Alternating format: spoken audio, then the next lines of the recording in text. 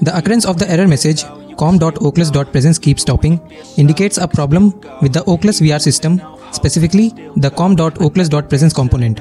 Several potential causes may lead to this error affecting the functionality of the Oculus VR platform. Number 1. Software conflicts.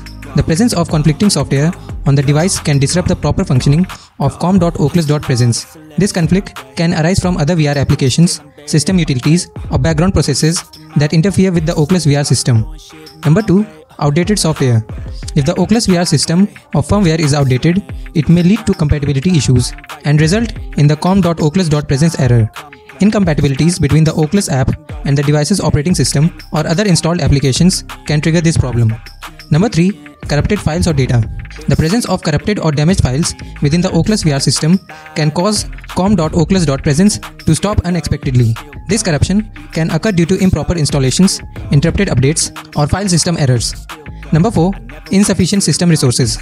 If the device lacks adequate resources such as memory or processing power, com.oculus.presence may encounter difficulties in executing its task. Insufficient resources can lead to crashes or the inability to run the Oculus VR system smoothly.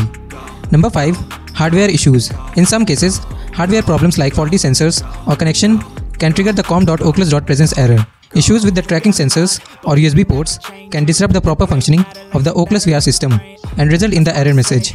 Now, let's get on to the possible troubleshooting steps. I found two ways on how to fix com.oculus.presence keep stopping. Fix 1.